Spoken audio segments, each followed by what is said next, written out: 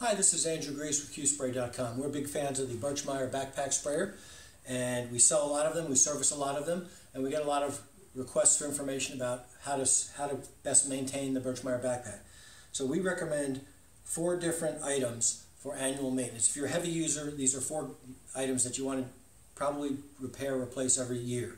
Okay, so first of all, you want to keep your backpack clean, and once a year, tear it down, clean all the parts. And what we would recommend is change the check valve. Check valve goes right in here.